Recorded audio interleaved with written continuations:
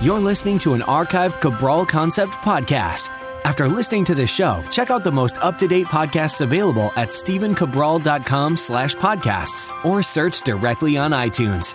And now, welcome to the Cabral Concept, where board certified naturopath and integrative health practitioner Dr. Stephen Cabral shares how he was diagnosed at the age of 17 with a life altering illness and given no hope for recovery. It was only after studying and traveling all over the world did he discover how to combine ancient Ayurvedic healing practices with state of the art naturopathic and functional medicine to fully rebalance the body and re energize it with life. It's time to discover how to get well, lose weight, and finally feel alive again. And now, here's your host, Dr. Stephen Cabral. I'm Stephen Cabral. Today on our Friday review, I'm actually going to just tackle one topic today. And that's because this is so important to everyone right now shopping on Amazon and also buying nutritional supplements from anywhere.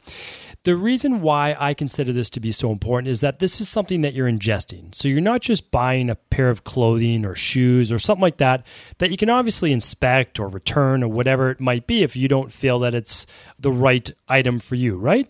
But when we're looking at Amazon and we're looking at nutritional supplements, I wanted to let you in on a little bit of insider secrets as well. So I've been in the nutritional supplement field for uh, at least a decade, and it's something that I've actually been quite passionate about for 20 years now. And the reason I have been is because ultimately, along with functional medicine testing, it's what helped me get my body back to where it needed to be.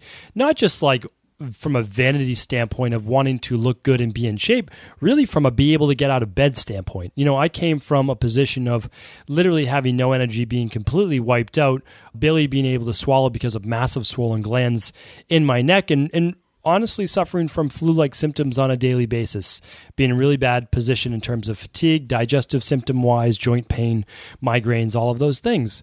So, what I did was I eventually found out about these things called functional medicine supplements or just functional medicine in general. And that's the best part, right? So every industry has a great thing about it. And that's really what nutritional supplements, the best of the best is simply made by functional medicine based companies. And I'll name some of those for you. And, and I work with a lot of great brands, and I'm happy to share those with you as well.